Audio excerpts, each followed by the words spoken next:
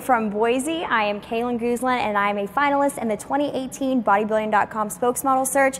I'm at the Bodybuilding.com headquarters this morning and I'm so excited to share this workout with you guys and answer any questions that you may have while I'm going through the workout. So if you think of anything that you may want to ask me, just drop your comments below and hopefully at some point during this workout I'll be able to answer some of those for you guys.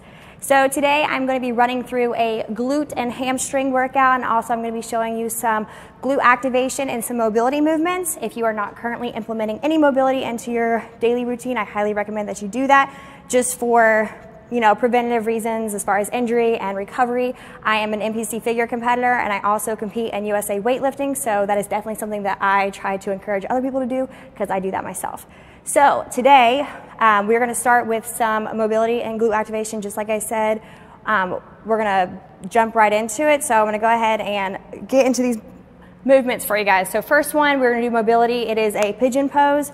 This movement is like this, drop down. So your front leg goes right angle in the front and then your back leg will kick out back. You can turn sideways. If you are able to lean all the way forward onto your forearms, that is ideal, but if not, you can hold yourself straight up like this. You want to hold this movement for at least 60 seconds or longer.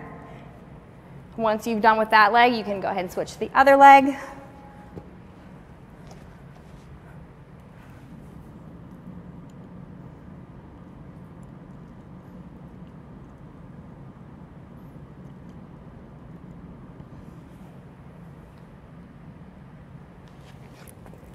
All right, second movement that we're gonna do is a butterfly. These movements here are just to open your hips and prime yourself for the workout. I like to do mobility movements first before I do glute activation because some of the glute activation movements that I do require some good hip mobility. So I like to prime my hips before going into the glute activation movements.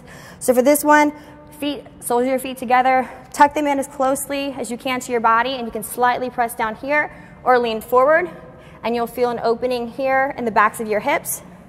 Again, you can hold this movement here for 60 seconds or longer.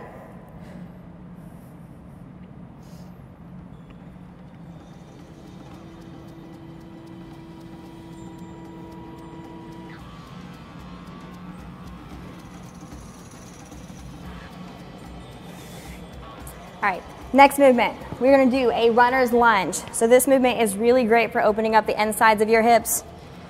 Lunge down like this. You can take my left leg's in the front, so I'm gonna take my left elbow, pressing it on the inside of my left knee, just far enough to it's, it's not uncomfortable. Again, holding this pose for at least 60 seconds or longer, and then you can switch. Again, pressing that elbow onto the inside of the knee, just until you feel a nice deep stretch in your hip.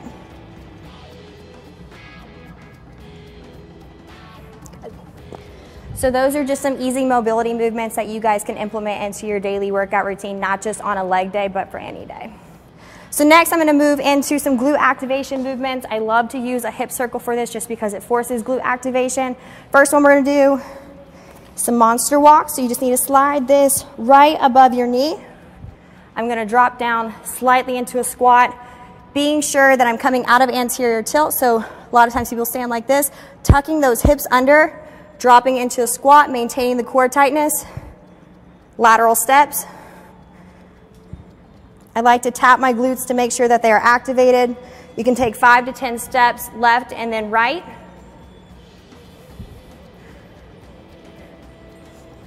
Like that. I like to do three to four sets of these before every workout, well, every glute focus workout. And hold. Second movement that we're gonna do are some hip thrusts. So you're gonna keep this hip circle on here, like so. Lay back. I'm going to drive my hips up, and as I do, I'm gonna slightly force my knees outward to activate my glutes here. Drop down. Squeeze the glutes at the top. And I like to do about three sets of 10 of this movement. Good. And then the final movement that I like to do for glute activation with my hip circle are just simple glute kickbacks. So it's good if you find something to hold yourself to support yourself here. to maintain neutral spine as you lean forward. And then you just want to pulse back. And you can do three sets of 10 on each side.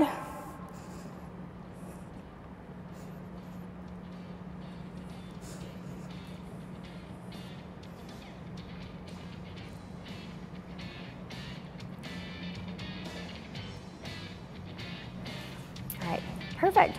So that warm up should probably take you about 15 minutes if you did everything with full sets and full reps. But we're gonna go ahead and jump straight into this workout. I'm gonna go ahead and lay this here. The first workout that I have for you all today is a banded, again with the hip circle banded RDL with dumbbells. So you're gonna take your hip circle, again, place it around your knees.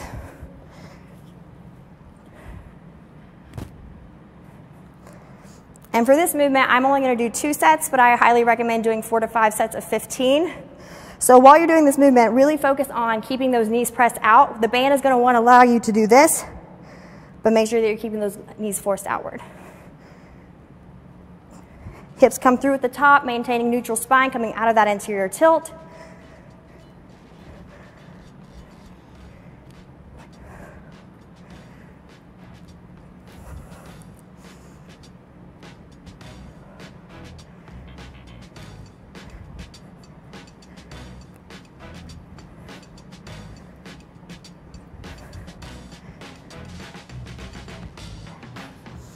For time's sake, I'm just gonna do sets of 10. All right, Kaylyn, we have a question from Facebook. Okay. Why do you like wearing the raised heel lifting shoes? Okay, so I, I'm a huge fan of wearing lifting shoes. So uh, you've already heard me mention multiple times about forcing your hips forward, your pelvis forward out of anterior tilt. When you wear lifting shoes for compound lifts, such as a deadlift, a squat, a snatch, a clean and jerk, anything like that, or even something as simple as RDLs, it puts your hips in a much better placement. So it elevates your heels. So by doing so, my hips naturally want to rock forward, and that just puts you in a stronger position to maintain good form during those compound lifts.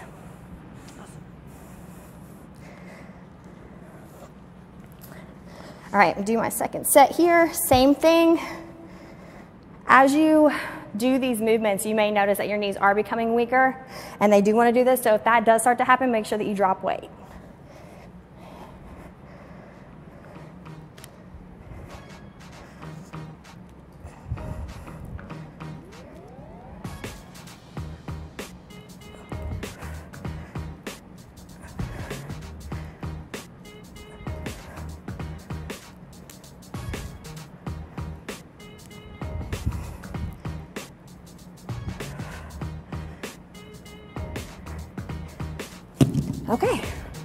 So like I said, typically I'd like to do four to five sets of that for 15 reps, not two sets of 10, but for time's sake, we're just gonna cut it a little bit short. All right, second movement that we're gonna do is a superset. So I'm gonna do two movements paired together. Both of them are on the cable. I'm not using my hip circle for this movement. First movement, we have a deficit cable RDL using the rope attachment. So I have a box set up here and I place the plate right here just to make sure that this box doesn't go anywhere. I'm gonna walk to the back of the box, carefully step up. I'm gonna start in neutral spine, so I'm gonna tuck my hips under just like this. Reach forward until I feel a deep stretch in my hamstring, pull through at the top, and then squeeze my glutes. Big stretch at the bottom, squeeze at the top.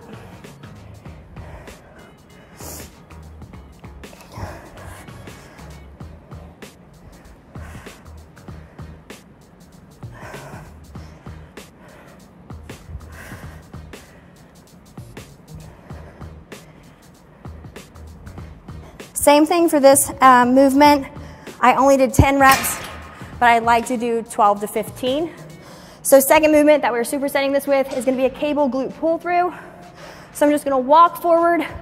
My hands do not move for this movement. The only thing that's gonna move are my, my hips. My hips are gonna move. So I'm gonna lean forward until I feel a deep stretch in my hamstrings, thrust my glutes forward. I'm just making sure to squeeze my glutes at the top,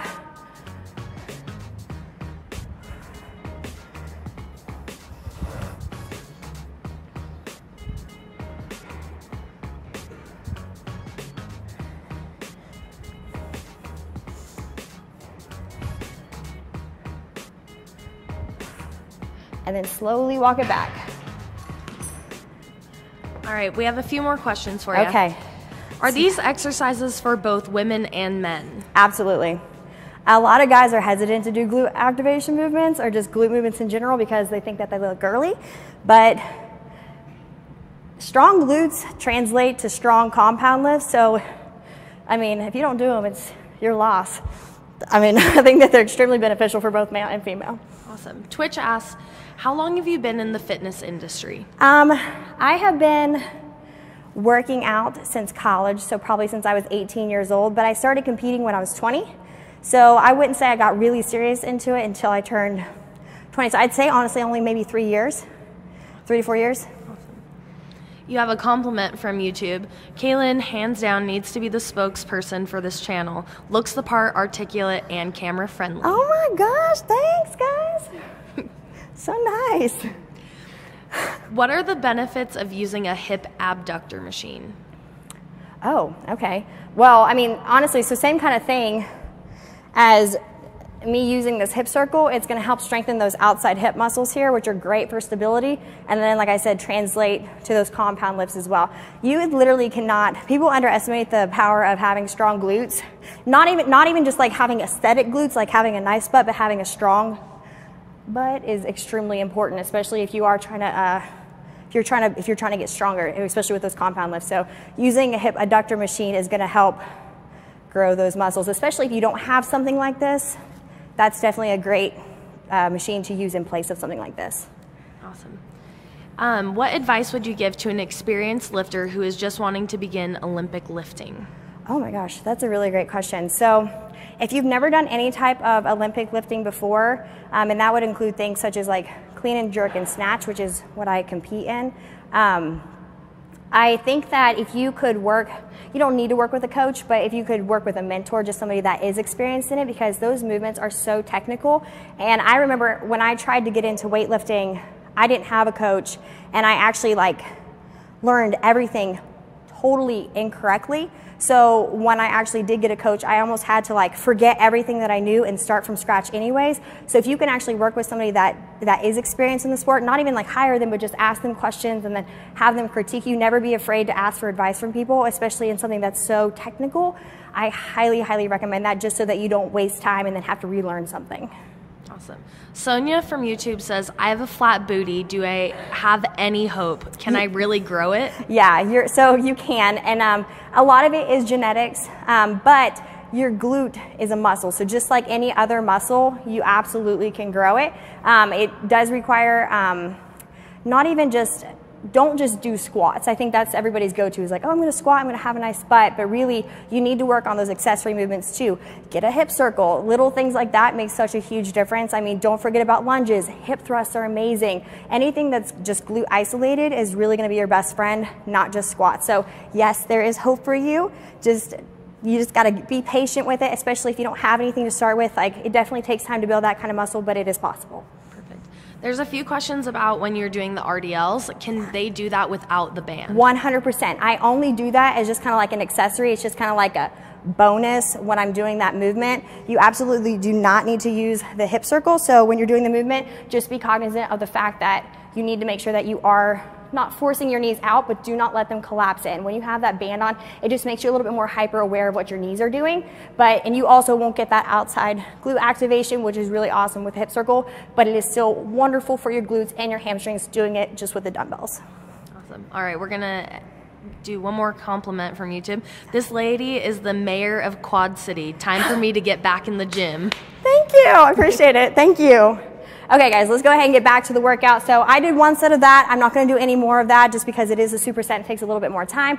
But I do like to go back to back on those two movements and I like to do four sets of 12 to 15 of those. I know I only did one set of 10, but if you're gonna do this on your own, definitely four sets is the most beneficial. All right, so from there, we are gonna move on to another dumbbell movement. I'm done with this for now. I need to, all right. This next movement, we're gonna do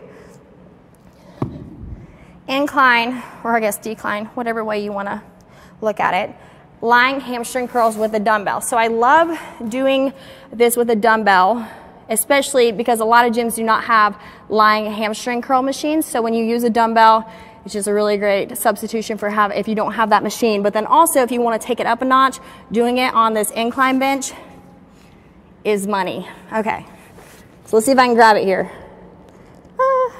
This is the hardest part. So if you have a gym partner, very beneficial. I'm just gonna awkwardly lay here.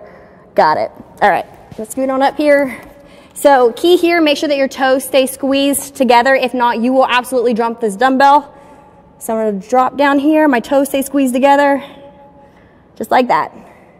So again, for this movement, four sets of 15 is key. I like to do everything high rep, just like that.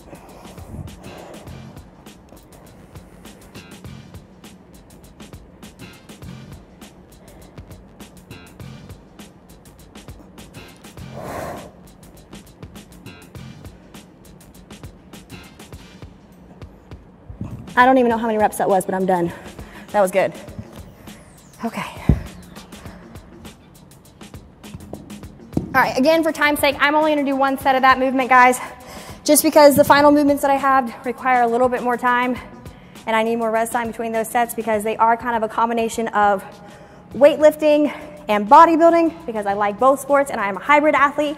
So I like to kind of com combine both of those types, styles of training into my workouts. So Done with those lying dumbbell ham, hamstring curls, I'm gonna move on to over here. All right, this next movement that I'm going to do is a snatch grip overhead walking lunge. This movement is much more technical than just a standard walking lunge because I'm gonna hold this weight over my head. If you are not familiar with anything, any overhead movements, I do not recommend starting with this movement. Maybe I would recommend starting with just holding a plate over your head as opposed to going snatch grip. But I'm gonna walk you through this here. Okay, so snatch grip just means that I'm holding my hands out wider than shoulder width. When you're holding a weight overhead like this, it requires a lot of core activation, so I'm gonna keep my shoulder blades pinched together. My core needs to maintain stability the entire time, so I'm gonna have my core nice and activated.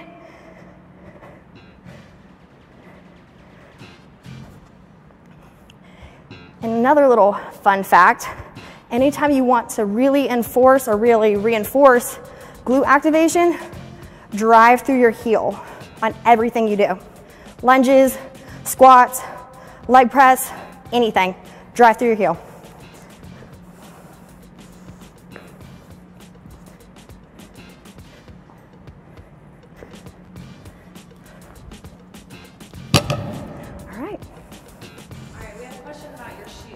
Nikes do you have on?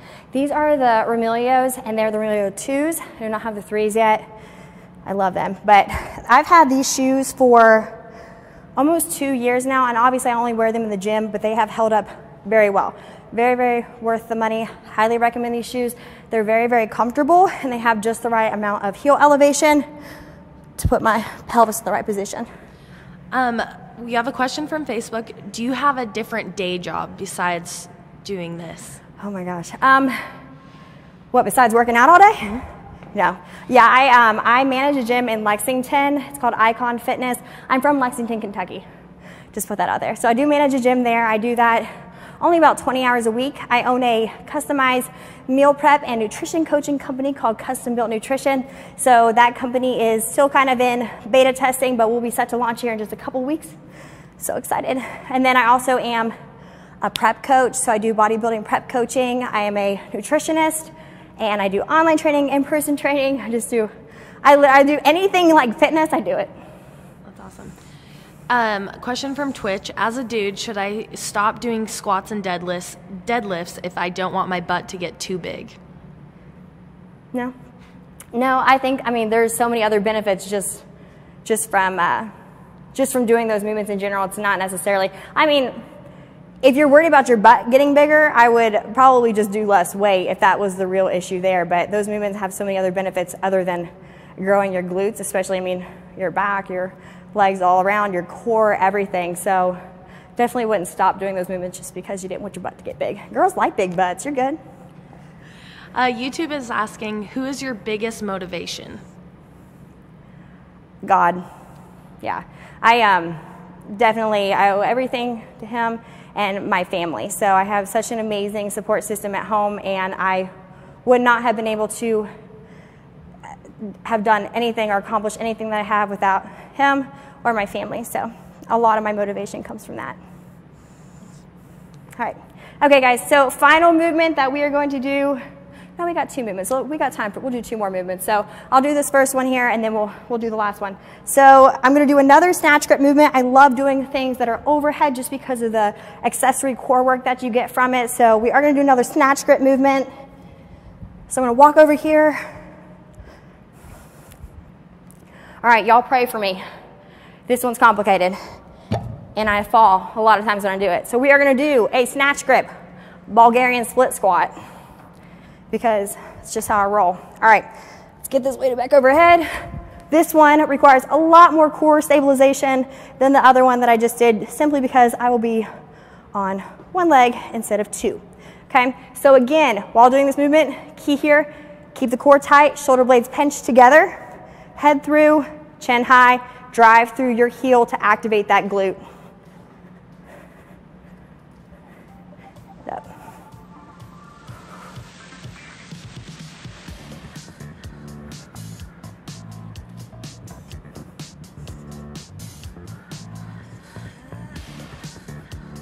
Really focus on driving your knee outward in this movement as well. It's easy to let it come inward.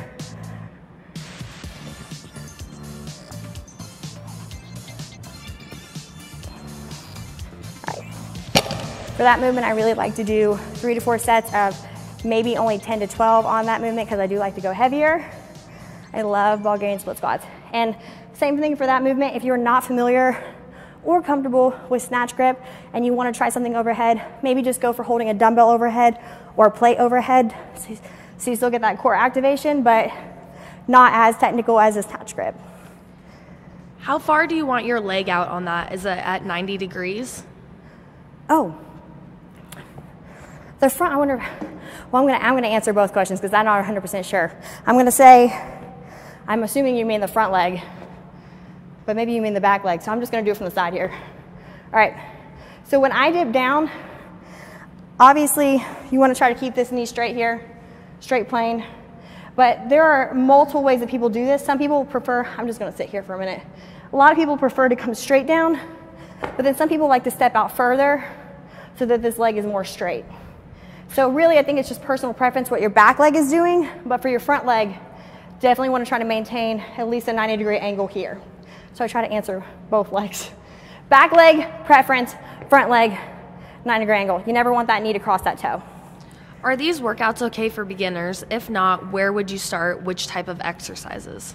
They are. The only ones that I would not recommend for a beginner, like I said, is that snatch grip, just because that is a little bit more technical, but there are modifiers. So, like I said, dumbbell overhead, plate overhead. But if you are not familiar with doing walking lunges, or Bulgarian split squats at all. Maybe you should try no weight, just do body weight movement first, just so that you feel comfortable with the actual movement. And then if you want to add weight from there, you could just hold dumbbells down low, hold dumbbell here, things like that. Or you could even hold on your back. That's great too. Okay. All right, guys, so Done with that one because I'm not used to your altitude here. Boise is a little bit higher than Kentucky, and I cannot breathe. I swear I'm not out of shape. All right, last movement we are gonna do is gonna be over here on the leg press, and this can be done on any leg press. It does not need to be done on a hoist or a machine like this at all. You can do it on a plate loaded, you can do it on a hack squat, any kind of leg press or squat machine, perfect for this. So we are gonna use the hip circle for this one. Again, just because it recruits a little bit more glute activation.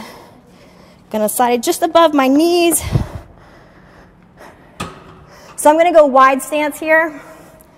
Let me get in here. Wide stance, and again, I'm gonna drive through my heels. So when I come down, I'm gonna really let my knees come out this way. You will feel the glute activation immediately. Drive through my heels.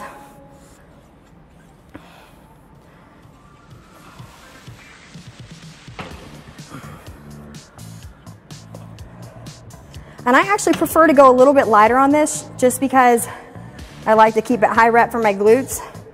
But you can go anywhere from 15 to 20 reps on this. And sometimes I'll even do five sets. That might be a little bit overkill, but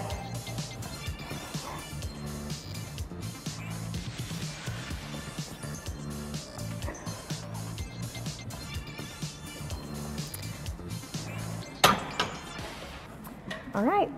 Oh my God. Listen, I ain't even working yet. Oh my gosh, I'm gonna fall over. All right, guys. That is everything that I have for you. Do we have any more questions or anything?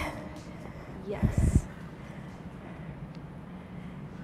What's the best squat or front, or I guess they're asking, what is your favorite squat? Front squat, back squat? So I really like to front squat just because I have piriformis syndrome in my right hip. So anything that has spinal compression, so even if it's like a low bar squat or a high bar squat, puts a little bit too much pressure on my back and it does hurt my hip. So I'm hyper aware of any movements that bother my hip.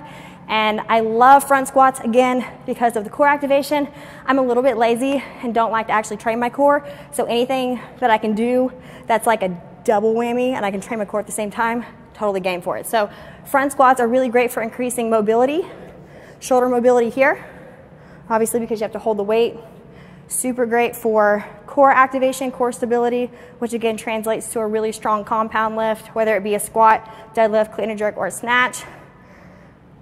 And then obviously it's awesome for your legs. So I like front squat personally. It's not to say it's the best squat, but for me, I just really like it. Awesome. Hannah from Facebook asks, "What's your go-to go-to meal after a heavy lift?" I love oatmeal. I really like oatmeal a lot. Um, I try to. I prefer to eat carbs intra workout. So before I work out, I love to have a very carb heavy meal, and then I like to eat a lot of. Uh, pro, not a lot of protein, usually 25 to 30 grams of protein post workout.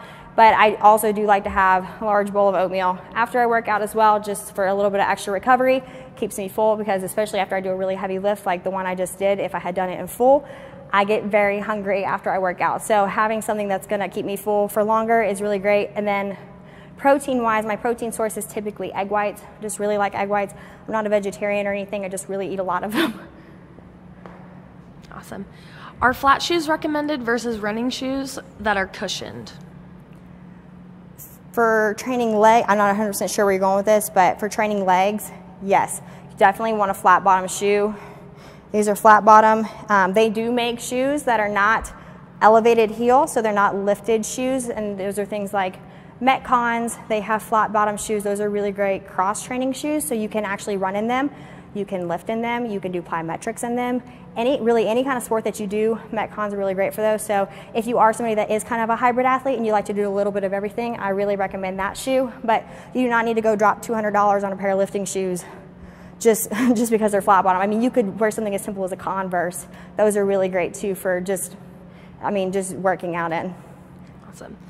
Twitch asks, how long do you rest between sets and do you take any supplements? Um, rest time between sets, I'm like, I do not take adequate rest time unless I'm actually weightlifting. And even when I'm weightlifting, and when I say weightlifting, I'm talking about like clean and jerk and snatch. Even when I'm doing that, I'm really bad at not taking enough rest time.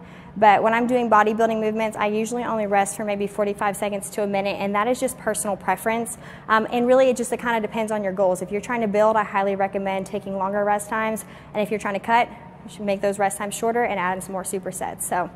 And then also, if you are kind of in a time crunch and you don't have a lot of time to spend in the gym, I definitely recommend taking those shorter rest breaks.